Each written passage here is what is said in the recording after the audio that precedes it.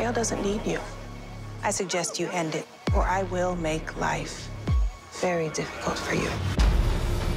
We need to focus on ourselves, not our distractions. Why don't you back slowly away from my shit, and I'll back slowly away from your shit. The Spree are getting more creative in their reign of terror. We won't stop until there's total liberation. Alder has had plenty of time to do something about the Spree. Maybe it's time for a change. If the Spree are here, we are in grave danger. You have no idea how powerful you are.